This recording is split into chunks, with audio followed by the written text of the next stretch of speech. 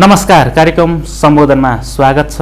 म वाङ्छे शेर्पा दर्शकवृन्द। आजको कार्यक्रम सम्बोधनको श्रृङ्खलामा हामी बौद्ध धर्म दर्शनका बारेमा संवाद गर्नेछौँ। जसका लागि आज हाम्रो अतिथि हुनुहुन्छ गुरु लामा खिलबहादुर थिङ जो माबर साङ्गे छोएफेलिङ गुम्बाको अध्यक्ष समेत हुनुहुन्छ। आउनुहोस् कार्यक्रम सम्बोधनमा उहाँलाई स्वागत गरौँ। कार्यक्रममा यहाँलाई स्वागत छ। नमस्कार। धन्यवाद। आरामै हुनुहुन्छ? हजुर आरामै छ। जस्तो तपाईँले अहिले एघारवटा गुम्बाको चाहिँ जुन निर्माण गर्ने अभियानमा तपाईँ लागिरहनु भएको छ त्यसको कुरा त गरौँला। त्यसभन्दा अगाडि तपाईँको यो बुद्ध दर्शनप्रतिको लगाव अथवा चाहिँ बौद्ध दर्शनमा तपाईँको औपचारिक अध्ययन शिक्षा कहाँबाट कसरी भयो? म चाहिँ पहिला बाबुबाजीदेखि नै हाम्रो त बुद्ध धर्ममै थियो पहिल्यैदेखि थियो। र पछि म नौ वर्षको उमेरदेखि म अध्ययनको क्रममै म थियो त्यतिखेर। नौ वर्षको उमेरदेखि अहिलेसम्म हालसम्म तपाईँले अध्ययन गरिरहनु भएको छ? हजुर हजुर। जुन खालको बौद्ध धर्म हुन्छ नि त्यसमा तपाईँको तपस्या ध्यान अध्ययन अनुसन्धान यस्तो गतिविधिमा कतिको संलग्नता यहाँको रह्यो? म धेरै सङ्घर्ष गरेर अहिले यो ठाउँसम्मै पुगेको म हाम्रो अब यो गुफा बस्ने अब खामसोम र यो लोसोम खामसोम भन्ने पनि हुन्छ त्योहरूमा हुन्छ। अनि यो ऊहरू बस्नेहरू हुन्छ धेरै छ यसमा त। तपाईँको बुद्धिस्टमा त एक्सर्साइज तपाईँको ध्यान बुद्धिज्मको ध्यान यो विपस ध्यान भन्ने चाहिँ यो रिसाउने यो रिसाउनेहरूको यो पाँच तत्त्व यो रिसाउने यो चोर्ने फटा गर्ने यो सबैको यो मन चञ्चल हुने चाहिँ यो विपस ध्यानबाट मुक्त हुन्छ यसबाट पनि रा- एकदम राम्रो हुन्छ ध्यान। हरेक यो दिमागलाई ब्रेनलाई राम्रो हुने चाहिँ विपस ध्यानबाटै राम्रो हुन्छ यसमा। यतिका तपाईँले चाहिँ तपस्या गर्दा अध्ययन गर्दाखेरि बौद्ध दर् दर्शनमा तपाईँको चाहिँ जुन खालको चाहिँ संलग्नता छ यसरी सोच्दाखेरि तपाईँको चाहिँ मान्छेको जिन्दगी अथवा जीवन भनेको चाहिँ के रहेछ मान्छेको जीवनमा यो अहिले पहिला पहिला चाहिँ त्यति लोभ पनि थिएन। एकदम धर्म सम्बन्धी एकदम धर्म भनेको एकदम ठुलो राजनीतिक यो सबै चिजभन्दा धर्म एकदम ठुलो धर्म धर्म भनेको चाहिँ धेरै ठुलो हो।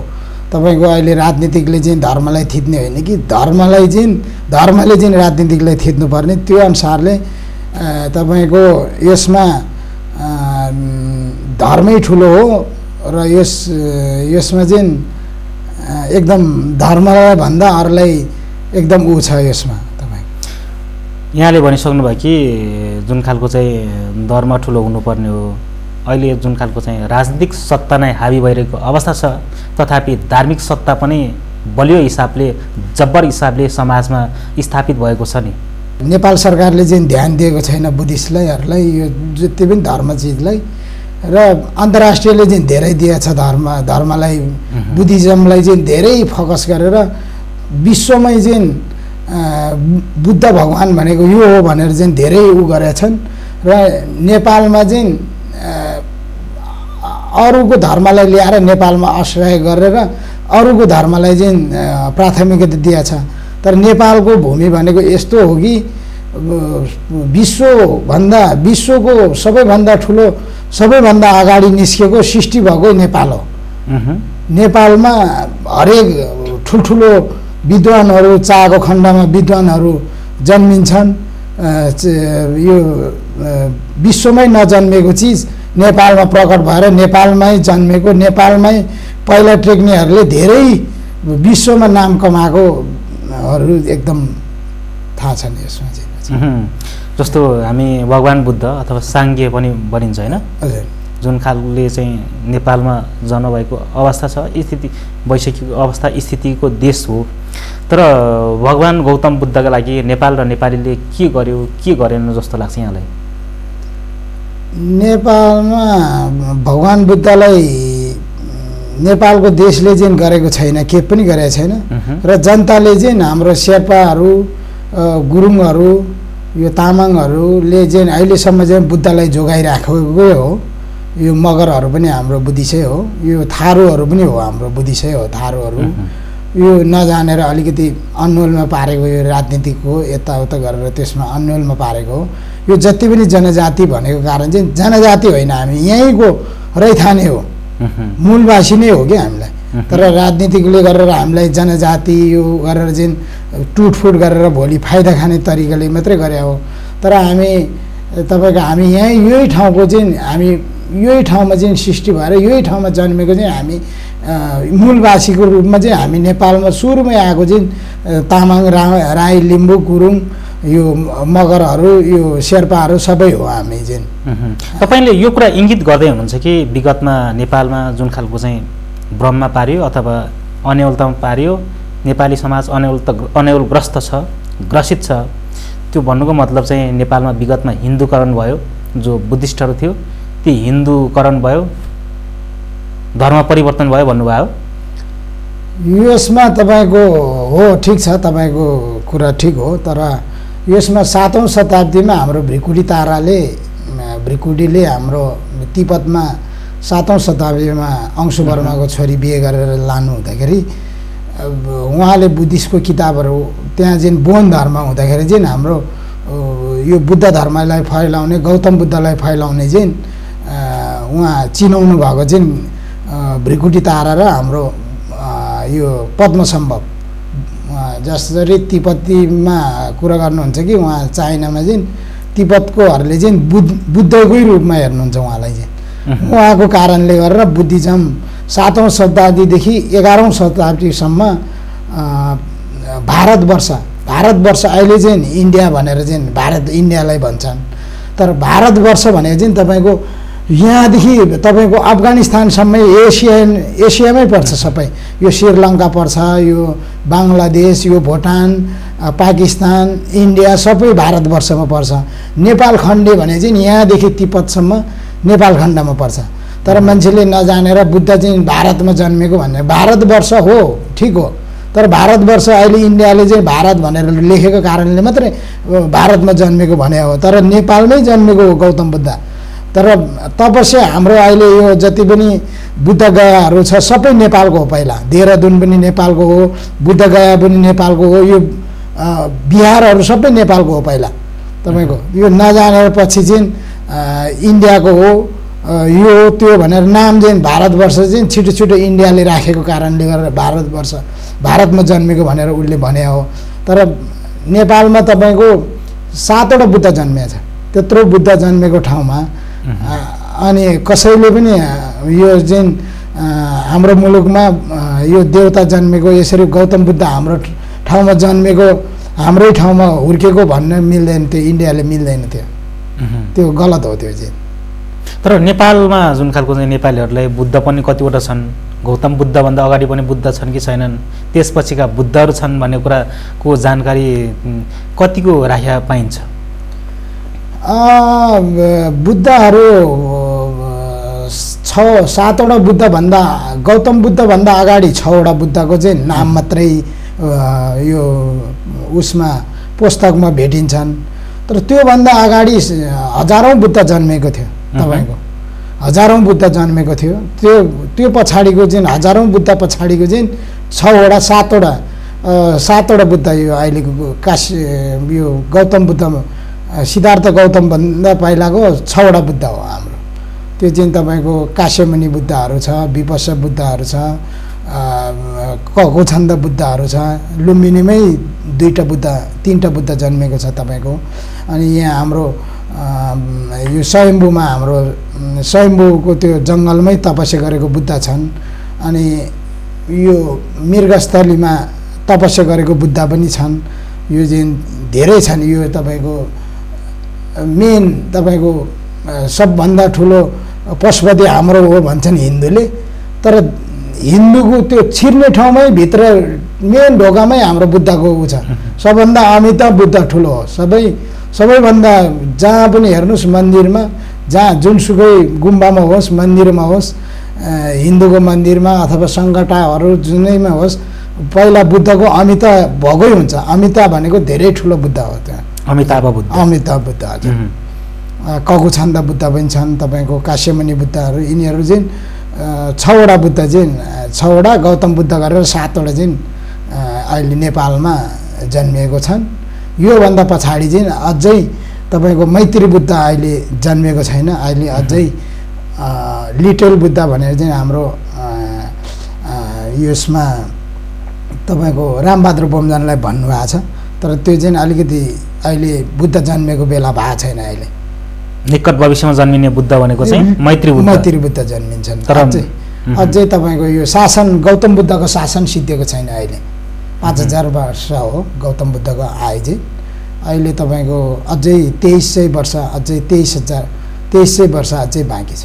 तेइस सय छत्तिस वर्ष बाँकी छ अझै बुद्ध जन्मिनको लागि। मैत्री बुद्ध। भनेपछि गौतम बुद्धको जुन शासन अहिले संसारमा चलिरहेको छ त्यो शासन सत्ता सकिसकेपछि आध्यात्मिक सत्ता सकि जुन गौतम बुद्धको आध्यात्मिक सत्ता सकिसकेपछि अर्को आध्यात्मिक सत्ताको सुरुवात हुन्छ त्यो चाहिँ मैत्री बुद्धको जन्म अथवा मैत्री बुद्धले लिड गरिरहेको हुन्छ हो। हजुर। त्यो जिन गर्नेछ। हजुर त्यो जिन कसरी भने म सबैलाई जानकारी दिन्छु। यो अहिले हाम्रो गौतम बुद्ध भने पञ्च पञ्चम बुद्धमा गनिन्छ। पञ्चम बुद्धको चाहिँ यो पञ्चम बुद्धदेखि लिएर त्यो पाँचैबाट पाँच पञ्चम बुद्ध पञ्चम रङ्गी पञ्चम तत्त्व भनेको चाहिँ हाम्रो शरीरमै भएको चिज हो। त्यो चाहिँ कसरी भने त्यो पाँचैवटालाई चाहिँ लिड गर्ने चाहिँ एउटा लिड अहिले चाहिँ पाँचवटा बुद्ध लिड गरेर अहिले गौतम बुद्धको पालो आएको छ यो पञ्चबुद्धमा गनिन्छ पाँचौँ बुद्धको लास्ट र धरती बुद्ध उहाँलाई। तपाईँको पहिला पञ्चौँ बुद्धको मतलब चाहिँ आकाश बुद्ध पनि एउटा छन्।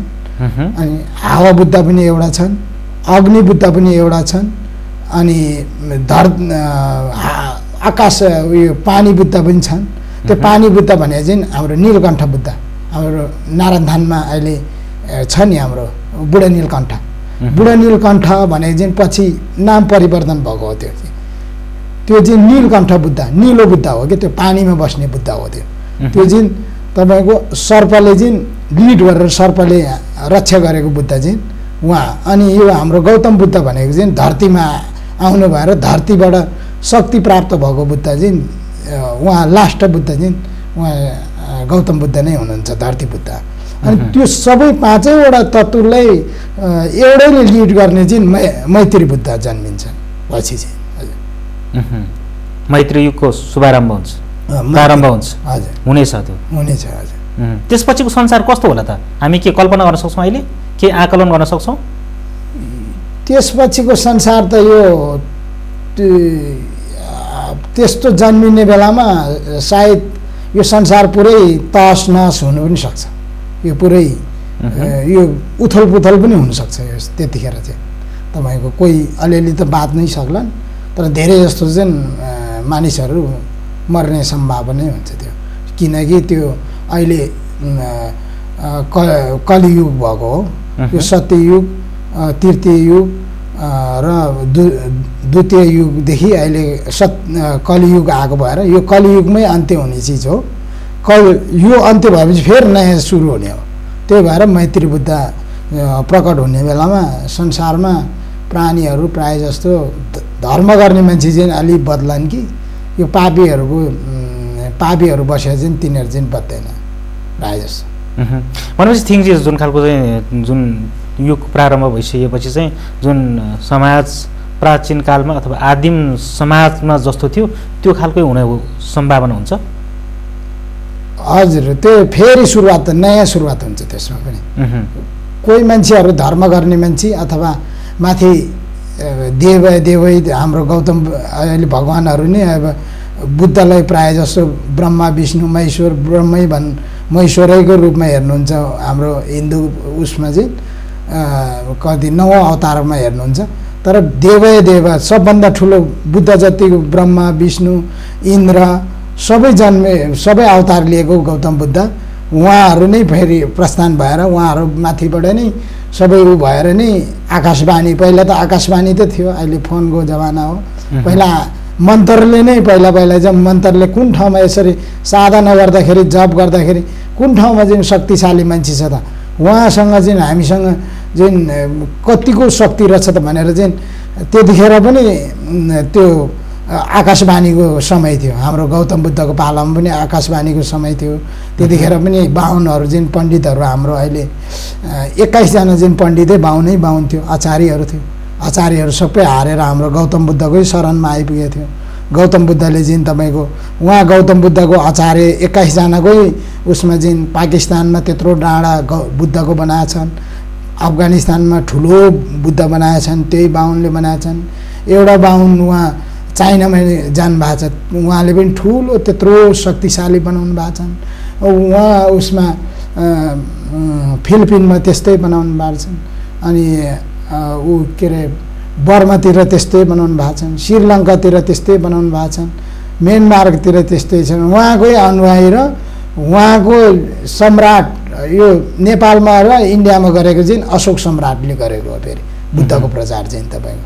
बुद्धले चाहिँ त्यतिखेर अशोक सम्राटले चाहिँ एकचोटि काट्दा चाहिँ दस दस लाख मान्छे चाहिँ एकैचोटि घाँटी छिनाएको भएर उहाँको भाइ चाहिँ बुद्धको शरणमा थियो। त्यतिखेर चाहिँ बुद्धको अनुयायी भएको कारणले कहाँ गएर चाहिँ मैले मुक्ति पाउँछ त यस्तो यति शक्तिशाली म यत्रो मान्छे मारेँ मैले। अब यो कसरी मुक्ति पाउला भनेर गौतम शरण खोज्दै हिँड्दाखेरि गौतम बुद्धको शरणमा आउनु भएर अनि उहाँले अहिले चाहिँ यहाँ ललितपुरमै चारवटा स्तुम्ब छ। ठाउँ ठाउँमा यी गुम्बाहरू बनाएको छ चैतेहरू बनाउनु भएको छ उहाँले। अश अशोक राजाले पनि इन्डियाको अशोक सम्राटले पनि। बुद्धकै प्रचार गर्नुभएको छ। हजुर। जस्तो तपाईँको चाहिँ नेपाल पनि गुम्बाहरूको सङ्ख्या दिन प्रतिदिन बढिरहेको छ नयाँ नयाँ गुम्बाहरू स्थापना भइरहेको छ निर्माण पनि भइरहेको अवस्था छ।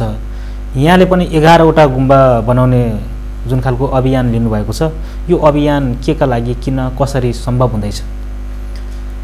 यसमा चाहिँ मानवको कल्याणको लागि पनि र यसमा मानवलाई बाटो देखाउने मार्गदर्शनको रूपमा जुन म लिन्छु यसलाई चाहिँ मानवलाई चेतना गर्नलाई अहिलेसम्म पनि चेतना भएको रहन्छ हाम्रो पहाडी मुलुक कुनै ठाउँमा चाहिँ सञ्चार केन्द्र नभएर हो कि तर त्यहाँ विद ऊहरू चेतना अलिकति गुरुहरूले राम्रो नसिकाएर हो कि त्यसमा चाहिँ प्रवचनहरू गुरुहरूलाई लिएर प्रवचनहरू दिने अनि ज्ञानहरू सिक्ने त्यो चाहिँ एकदम आवश्यकतै भएको कारणले गरेर मैले यो कुरो कतिपय यो काठमाडौँ जिल्लाको छेउछेउमा पनि तपाईँको के धर्म हो कुन धर्म हो हामी भनेर तामाङहरूले पनि जाने छैन अहिले। तामाङहरूले अथवा मगरहरूले पनि तपाईँको हामी कुन धर्म हो? यो जनजातिहरूले कुन धर्म हो हामी हाम्रो मूलवासीहरूले कुन धर्म हामीले मान्दा चाहिँ ठिक हुन्छ। यो धर्मै कुन हो कुन हो? न हिन्दूतिर जाउँ न क्रिस्चियनतिर जाउँ न त्यो साई साई बाबातिर जाउँ अनमोलमा परेको छ। त्यो चाहिँ राम्रो मार्गदर्शन देखाउने चाहिँ हाम्रो बुद्धकै राम्रो मार्गदर्शन हो। यसबाट आउँदा चाहिँ तपाईँको छ लोकले नै मुक्त हुन्छ यसमा चाहिँ। छ लोक छ। यो छ लोक प्राणीहरूमा चौरासी लाख जीव जन्तुमध्येमा छ लोक भोग्नुपर्छ मान्छेको पाप नर्ग स्वर्ग यो सब विभिन्न थरीको गरेर चाहिँ छ लोकमा चाहिँ पार हुन्छ यो धर्म गर्दाखेरि। त्यो हिसाबले मैले यो चेतनाको लागि तामाङहरू अथवा विभिन्न जात जातिलाई चाहिँ टेवा पुग्ने गरी कुनैलाई चाहिँ स्कुल पढ्न नसक्नेलाई लामाको स्कुल र इङ्ग्लिसको विद्यालयहरू ठुल्ठुलो बनाउने र यसमा मेडिकलहरू अनि वृद्ध आश्रमहरू खानु नपाउनेहरूलाई दुःख पाएको कसैको अहिले त बिचल्ली भएको छ बाबुआमालाई पनि छोडेर सम्पत्ति चाहिँ खाइदिने अनि बाबुआमालाई रोडमै पुर्याएर आश्रमतिर लाने छन्। त्यो भएको कारणले गुम्बैतिर ल्याएर चाहिँ पढाउनु बस्ने उनीहरूको चाहिँ जीवनलाई चाहिँ ज्ञान दिने बुढाबुढी भए पनि ज्ञान दिने त्यस्तो तरिकाले गर्नु खोजेको छु अहिले मैले। यो तपाईँहरूको जुन महावर साङ्गे छोइफेलिङ गुम्बा छ नि यो तपाईँको जन्म जिल्ला सि सिन्धुलीमा।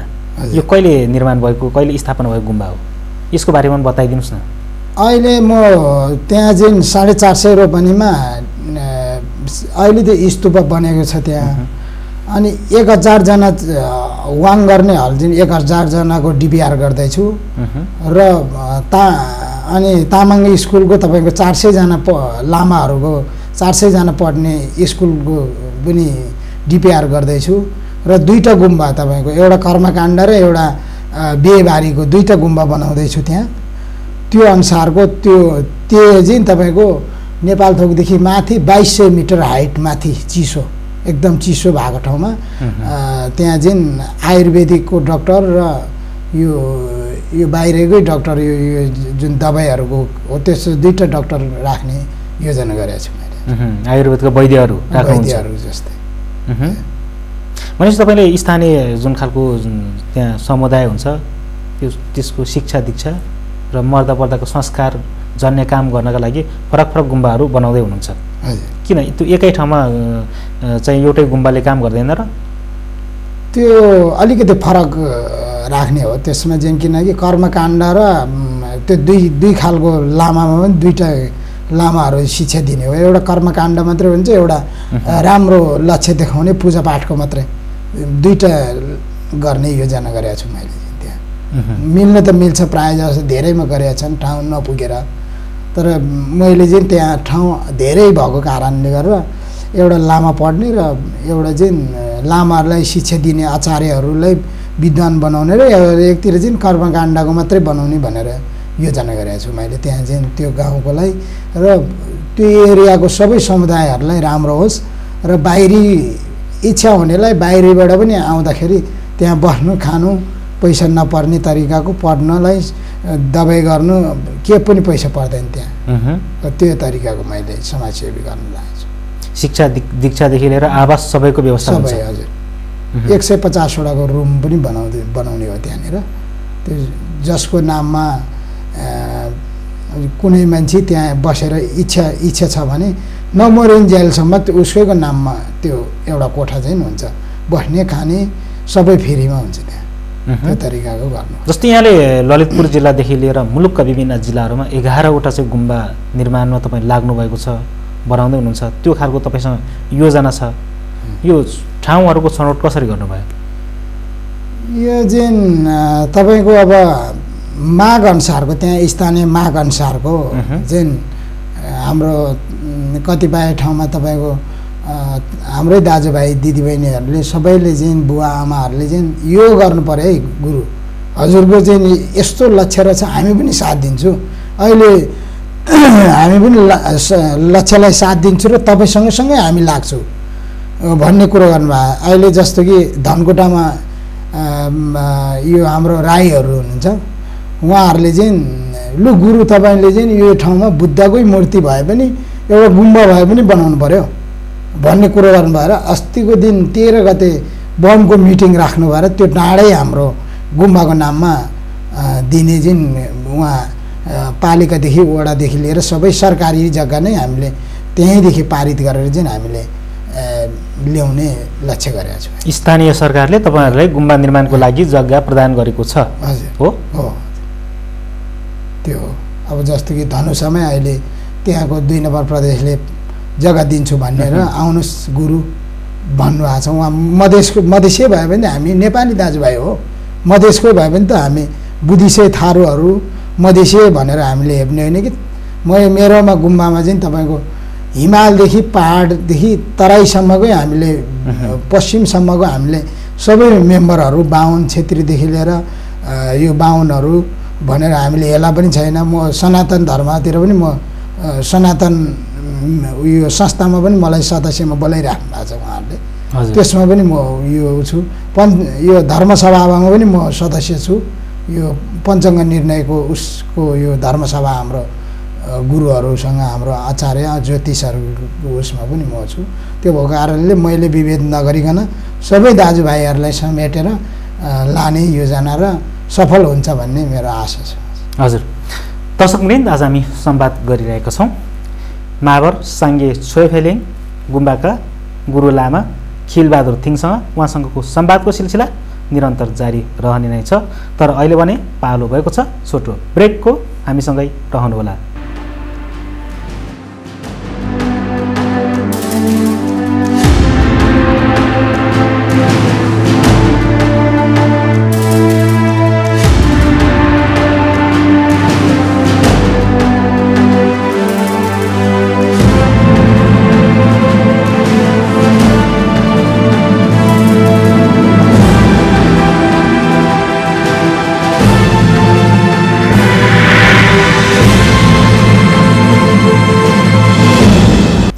दर्शक महानुभावहरू कार्यक्रम सम्बोधनमा पुनः स्वागत छ। आज हामी कुराकानी गरिरहेका छौँ।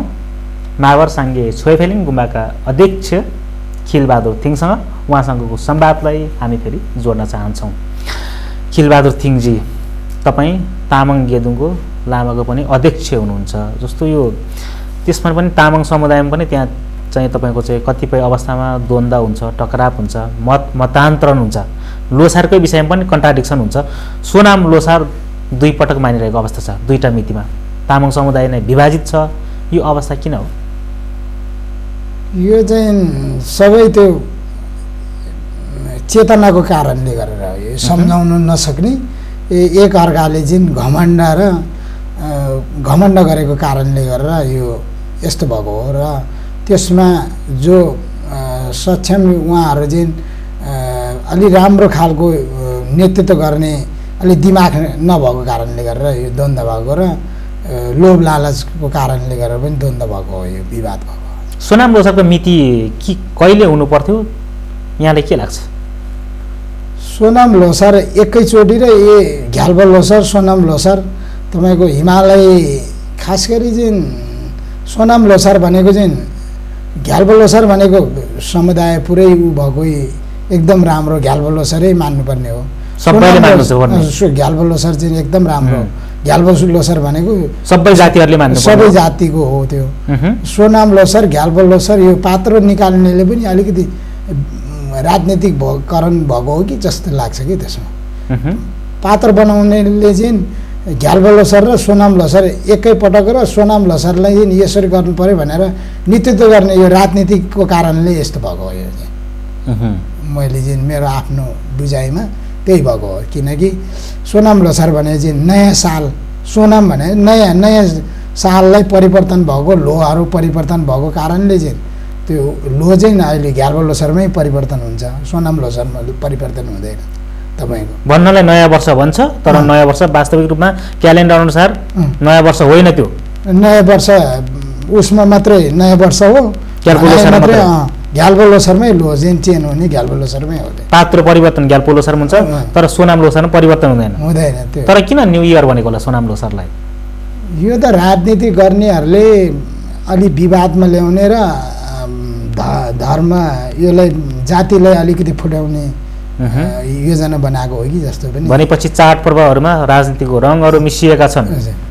यो चाहिँ फेरि नराम्रो चाहिँ दुष्परिणामहरू ल्याउला नि। त्यसमा भविष्यमा तपाईँको अन्तर्राष्ट्रियमा चाहिँ सत्रवटा देश छ हाम्रो बुद्धिस्ट कन्ट्री। त्यसमा चाहिँ धर्मको धर्मको मान्छेलाई गुरुहरूलाई सल्लाह नगरिकन त्यो सरकारै परिवर्तन हुँदैन। सरकार त्यो जे गरे पनि सरकारलाई धर्मकै लिड गरेर लाने योजना हुन्छ। धर्ममाथि हो। र राजनीतिक भनेको सा अलि मुनि हो। एक स्टेप मुनि नै हो। किनकि धर्मलाई चाहिँ धर्मले चाहिँ राजनीतिकलाई लिड गरेर चाहिँ शिक्षा दीक्षा गरेर लानुपर्ने भोलि। भ्रष्टाचारी पनि हुँदैन थियो त्यो कारणले र चेतना पनि धा धार्मिक चेतना पनि दिनुपर्ने यो अहिले राजनीतिकले चाहिँ के गर्यो भने यो ठाडो ठाडो भाषा के जसरी हुन्छ पैसा कमाउने जसरी हुन्छ लुट्ने जसरी हुन्छ ठग्ने जसरी हुन्छ आफ्नो तरिकाले आफ्नो योजना मात्रै आफ्नो अरू जुनसुकै बाटोमै मरोस् कि जेसुकै गरोस् पीडा परेर त्यहाँ फत्र फत्र लडेर मर्न लाए पनि त्यसलाई सहयोग नदिने त्यो। चाहिँ राजनीतिकरण भएको त्यो चाहिँ चेतना अलिकति ठाडो ठाडो भाषामा सिकाइदियो कि त्यो।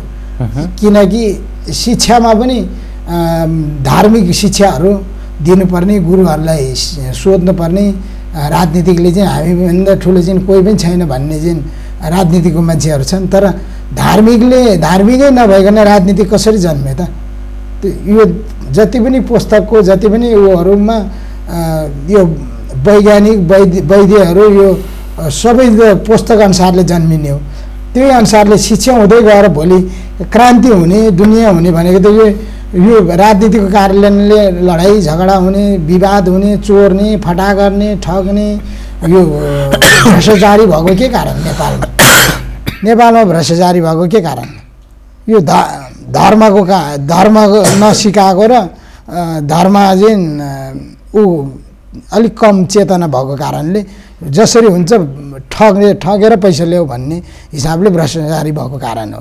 यसमा धार्मिक चेतना भयो भने यो भ्रष्टाचारी पनि कम हुन्छ सरकारले त्यो मुखले मात्रै भ्रष्टाचारी नगर भन्छ तर धर्मको चेतनै नभएपछि सबै योभन्दा खतरा चाहिँ भोलि द्वन्द्व हुन्छ यसमा चाहिँ नेपालमा। योभन्दा खतरा चाहिँ भ्रष्टाचारी हुन्छ अझै। यो त अझ यो त भर्खर नमुना मात्रै हो सुरुवात मात्रै हो। यो बाटो बाटोमा मान्छे मर्दै जान्छ बाटो बाटोमा यहाँ चाहिँ मान्छेको मान्छे नै मारेर चाहिँ मासु खाने दिन पनि आउँछ त्यो दिन त्यो अहिले धेरै समय लाग्दैन त्यो पनि अझै अब आउलान् तर त्यो पनि समय छ। यो त भर्खर सुरुवात हो यो भ्रष्टाचारी त नेपाल सरकारको अहिले। भनेपछि तपाईँ यो भन्दा हुनुहुन्छ कि सबै कुरा आध्यात्मिक चस्माबाट हेर्- हेर्दाखेरि चाहिँ राजनीतिभन्दा आध्यात्ममा हाबी हुनुपर्छ होइन। सबै कुरा अध्यात्मले लिड गरेको हुनुपर्छ। यो चाहिँ धर्मले नै लिड गरेर शिक्षा दीक्षा गरेर किताबमै निकाल्नु पर्यो यो यो जस्तो कि चार क्लासदेखि बाह्र क्लाससम्मको किताबमै हुनु पऱ्यो क्या यो शिक्षा चाहिँ? मास्टरले पनि सिकाउनु पऱ्यो त्यही के? अब त्यो शिक्षामा चाहिँ एक्को र भेडा जस्तो चाहिँ अर्को त्यो ऊ मात्रै लिड मात्रै गरेको छ पैसा कसरी हुन्छ लुटौँ भन्ने मात्रै छ। तर धर्ममा पनि जानु पऱ्यो नि त। पहिला यो राजनीतिक नहुँदाखेरि तपाईँको पहिल्यैदेखि नै राजनीतिक अलिअलि होला नि। तर पहिला सत्ययुगदेखि अहिले द्वितीय तृतीय युग द्वितीय युगसम्म त तपाईँको धर्मले टिकेको थियो नि अहिले यो अड्डा अदालत पनि थिएन पुलिस पनि थिएन। यो फडाहरू पनि थिएन। त्यो धर्मले नै उ गरेर समाजले उ गर्थ्यो त त्यतिखेर। अहिले जति जान्दै गयो जति शिक्षा हुँदै गयो त्यो राम्रो चिजले लुकाउँदै गयो नराम्रो चिज चाहिँ सिकाउँदै गयो। कि यो बुर्जुवा भाषा जस्तो।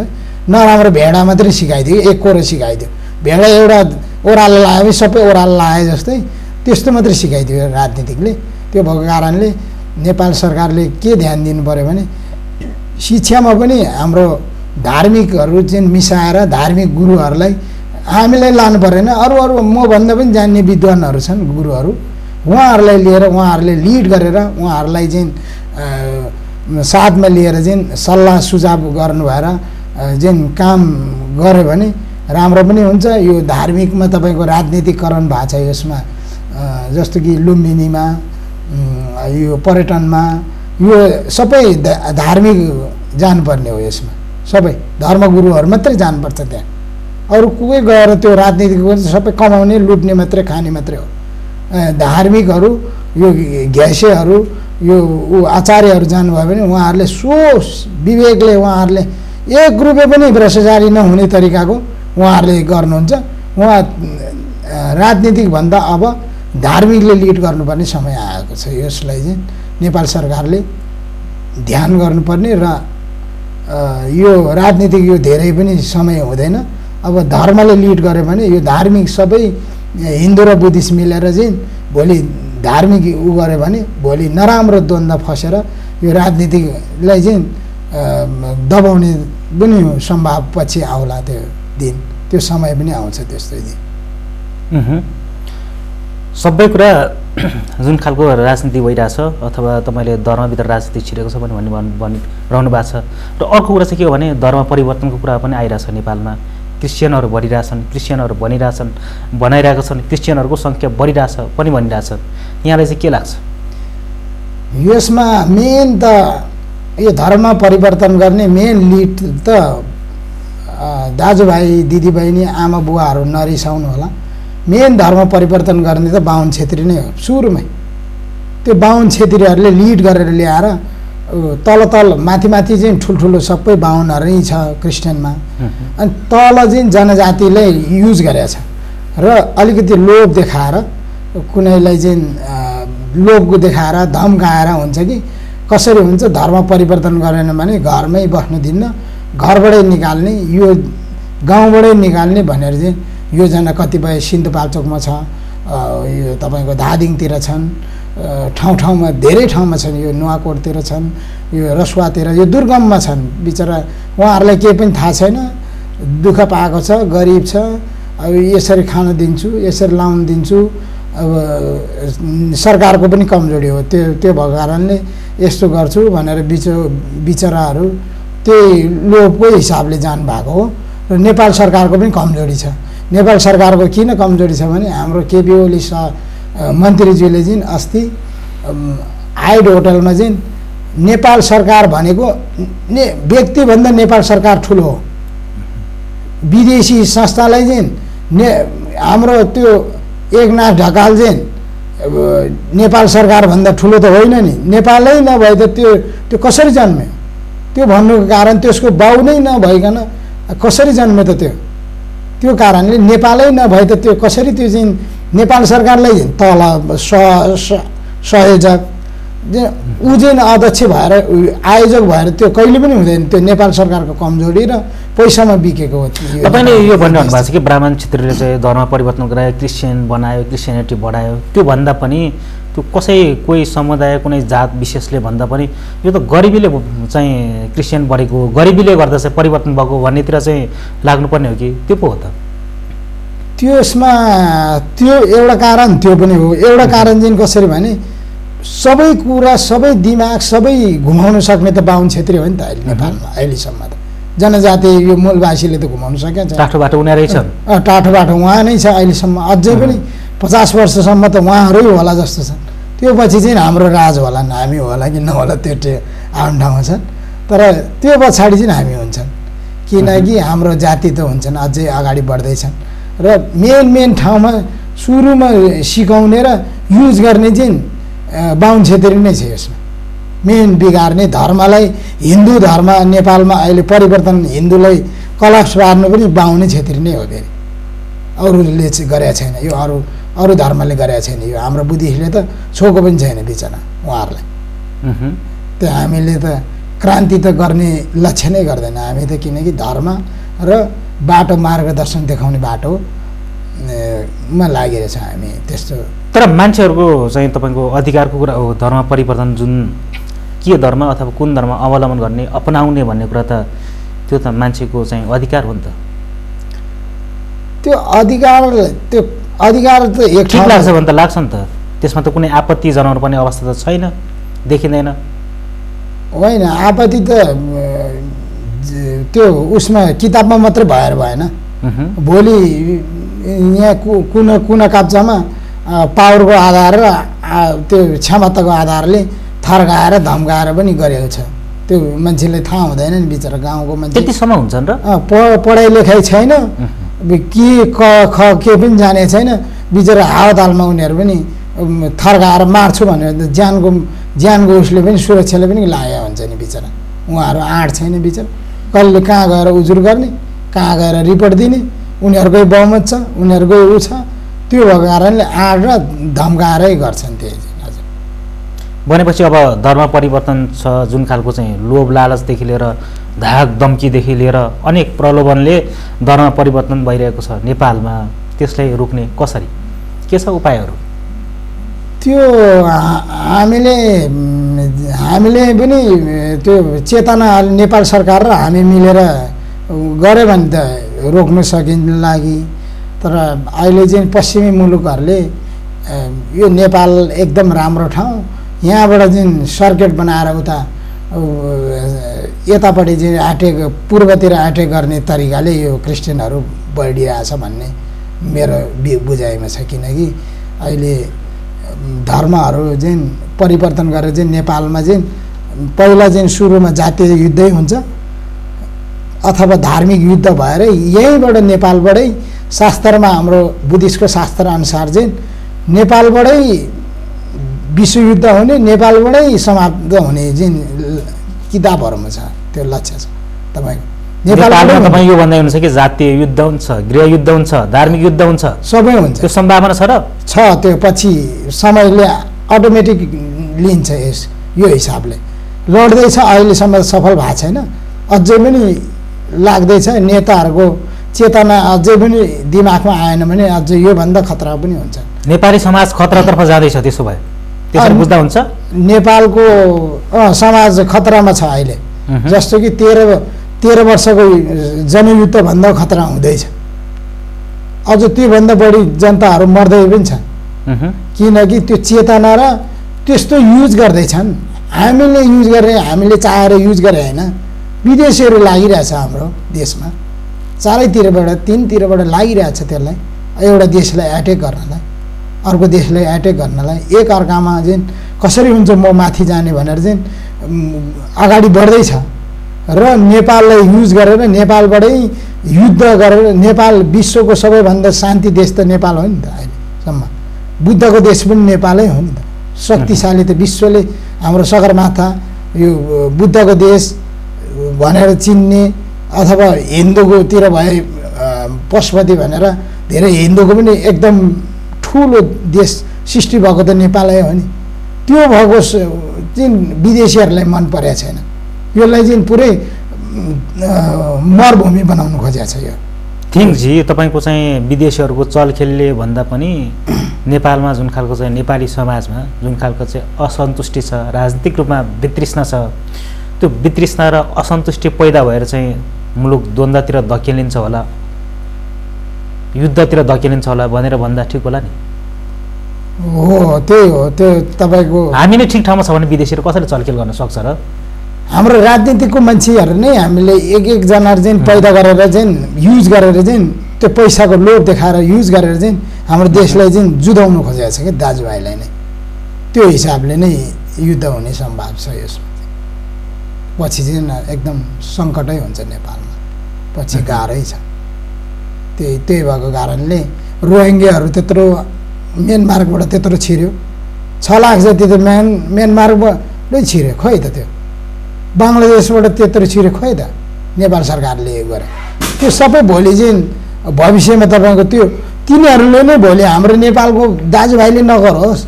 नेपाली दाजुभाइ भनेको धर्मले अहिलेसम्म त धर्मले चेतना दिएर चाहिँ बचिरहेछ काट्नुहुन्न मार्नुहुन्न मान्छेले अपराध गर्नुहुन्न भनेर अहिलेसम्म त बचिरहेछ।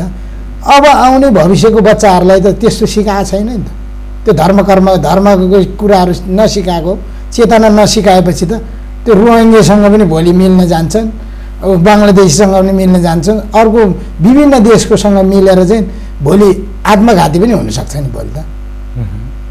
त्यो चेतनाको कम र नेपाल सरकारले पनि संरक्षण गर्नु पऱ्यो नि त। यो यो देशको यो यसरी गर्नुहुन्न यो यसलाई चाहिँ यसरी रेकर्ड गर्नु पऱ्यो भनेर चाहिँ नेपाल सरकारको ध्यान जानु पऱ्यो नि त। नेपाल सरकारै विदेशीसँग लागेको छ त। अनि कसरी उ गर्नु? मुखले चाहिँ बाहिर चाहिँ देश बनाऊ भन्छ देश चाहिँ बेचौँ भन्नेतिर चाहिँ लागेको छ अनि कसरी हुन्छ? को लागेको छन्? सरकार लागेको छन् कि? अब भित्री भित्री सरकारै लागेको छ अरू अरू पनि लागेको छ अरू अरू तत्त्व पनि लागेको छ यसमा। सरकारले कहाँ देश बेच्छन् त? बेच्नेहरूलाई रोक्ने पो त। त्यो त तपाईँको मुखले बाहिर रूपले भन्छन् तर भित्री रूपमा सबै सम्झौता गरेर थाहा नै हुँदैन। देशै पनि कत्रो त्यत्रो ऊ अहिले हेर्नुहोस् वनवास उहाँ पश्चिममा उहाँ त्यत्रो ऊ भएको छ। अनि त्यतातिर विदेशीतिर त्यहाँ हाम्रो बोर्डरतिर त्यत्रो एट्याक भइरहेछ इन्डियाले पुलिसहरूले। दिउँसै कुटिरहेछ। डिएसपी एसपीहरू एसएसपीहरूले त्यहाँ बोर्डरमा त्यहाँ हाम्रो बाटै बनाउन दिएको छैन त्यहाँ हाम्रो महेन्द्रनगरतिर कता यता पश्चिमतिर त्यो विवाद छ। नेपाल सरकार त एक एक फोन आयो भने चुइक्क थर्किन्छ प्रधानमन्त्री पनि थर्किन्छ। के कामले त त्यो? त्यो विदेशीको इसारा पनि बस्यो हुन्थ्यो त्यो। डिएसपी एसपी यो इन्डियाको पुलिस भने त एकै आड भयो भने त सेकेन्डमा समात्न सकिन्छ सेकेन्डमा आफ्नो देशमा त उ गर्न सकिन्छ एट्याक उन्नाइस सय पचासमा त अझ तपाईँको दार्जिलिङ पनि फिर्ता दिने भनेको छ देहरादुन पनि फिर्ता दिने भनेको छ। त्यो खोइ त नेपाल सरकारले चुइको बोलेको छैन अहिले फिर्ता दिन्छु भनिरहेछ मोदीले पनि। अहिले संशोधन गरेर। खोइ के गर्न सकेको छ केही पनि गर्न सकेको छैन। खालि कसरी हुन्छ त्यो अब फिर्ता लिन्न पैसा ल्याऊ भनेर फेरि पैसा लिनु पनि बेर छैन यिनीहरू भित्री रूपमा। धेरै छ यसमा चाल खेल चाहिँ तपाईँ। भनेपछि तपाईँलाई राजनीतिक कुराहरूको पनि चासो छ। रुचि छ।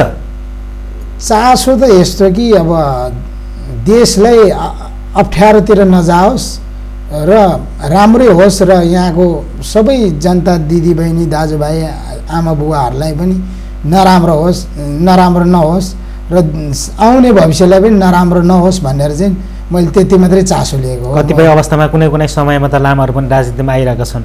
तपाईँको सम्भावना के छ? तपाईँको इच्छा के छ? म त त्यति लक्ष्य छैन अहिले राजनीतिकमा आउने लक्ष्य छैन। तर बाइचान्स भोलि आउनु पऱ्यो भने म मात्रै होइन कि अरू धर्मगुरुहरू पनि आउनुहुन्छ आचार्यहरू पनि आउनु भएर भोलि एउटा ठाउँ दियो भने त्यसले चाहिँ भ्रष्टाचारी हुँदैन।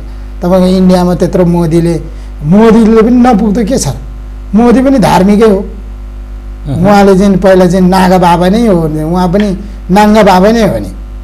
चिया बेच्यो उतापट्टि नभएर उता नाङ्गा बाबा भयो भिक्षु भयो उहाँ पनि अतिथिनाथ पनि त्यस्तै हो। त्यो भएर त देश बनिएको छ त। खोइ त नेपालमा खोइ त धार्मिक मान्छे एउटा पनि छैन। खालि लुटुवा मात्रै छ। अनि कसरी हुन्छ? देशै बन्दैन यो। भनेपछि धार्मिक आध्यात्मिक मान्छेहरू राजनीतिमा आउनुपर्छ। हो? आएर राम्रो संरक्षण दिनु पऱ्यो चेतना दिनु पऱ्यो र ज्ञान र राम्रो बाटो मार्गदर्शन देखायो भने अवश्यमै देशलाई द्वन्द्वतिर पनि जाँदैन र राम्रो बाटो देखाउँछ। तर धार्मिक मान्छेहरू राजनीतिमा लाग्नु हुँदैन राजनीतितिर लाग्नु हुँदैन भन्ने खालको कुराहरू पनि छन्। त्यसमा त यस्तो कतिपय देशमा राजनीतिमा नलागे पनि तपाईँको संरक्षणको रूपमा पनि हुन्छ नि त। सल्लाहकारहरू अथवा संरक्षण अहिले तपाईँको संविधान बनाउने ठाउँमा नीति निर्माण ऐन कानुन भन्ने ठाउँमा हुनु पर्यो। हजुर त्यसमा र अनि कुनै चिजमा जुन जुन धार्मिकहरूमा चाहिँ जस्तो कि अहिले लुम्बिनीमै राजनीतिकरण भएको छ त्यसमा धार्मिक गुरुहरूलाई खटाउँदैनन्। स्थानीय मन्त्रालयमा गुम्बा मन्त्रालयमा राजनीतिकै मान्छे खटाउँछन् त्यो खोइ। तपाईँको पशुपतिभित्रै राजनीतिको मान्छे अध्यक्षहरू खोइ धर्मगुरुहरूलाई खटाउनु पऱ्यो त्यहाँ पशुपतिमा। बौद्धमै धर्मगुरुहरू खटाउनु पऱ्यो। खालि आड हुने र राजनीतिकमा फोकस हुने मात्रै खटाएको छ यो धार्मिक चिजमा। हजुर। त्यही भएको कारणले राजनीतिकवाला चाहिँ खटाउनु पर्ने भन्ने मेरो पनि तपाईँको जोड रहेको छ। जोड छ थिङजी हामी। कार्यक्रमको अन्त्यतिर आइसकेको छौँ। अन्तिममा जाँदा जाँदै के भन्नुहुन्छ? संक्षिप्त रूपमा। अब यसमा अब धार्मिक नेपाल सरकारले एकदम राम्रो धार्मिकलाई लिड गरेर धर्मगुरुहरूलाई लिड गरेर आचार्य खेम्पो हरेक ज्योतिष गुरुहरू हरेक चिजलाई लिएर चाहिँ यसमा चाहिँ ल्याओस् भन्ने चाहिँ विकृतिक विचल्ली धार्मिकमा ऊ नहोस् भन्ने चाहिँ म भन्न चाहन्छु। हस् यहाँको समय र विचारको लागि धन्यवाद। यो उसमा अरण्य टेलिभिजनमा मलाई बोलाउनु भयो र मेरो मेरो तर्फबाट र गुम्बाको तर्फबाट तामाङ घेदोङको तर्फबाट धन्यवाद भन्न चाहन्छु। हस् धन्यवाद। हस् दर्शकवृन्द उहाँ हुनुहुन्थ्यो। महावर साङ्गे छोयफेलिङ गुम्बाका अध्यक्ष खिलबहादुर थिङ। उहाँसँगको यो संवादसँगै कार्यक्रम सम्बोधनबाट बिदा दिनुहोस्। जन जनको सञ्चार धडकन अरनिको टेलिभिजन हेर्दै गर्नुहोला। नमस्ते।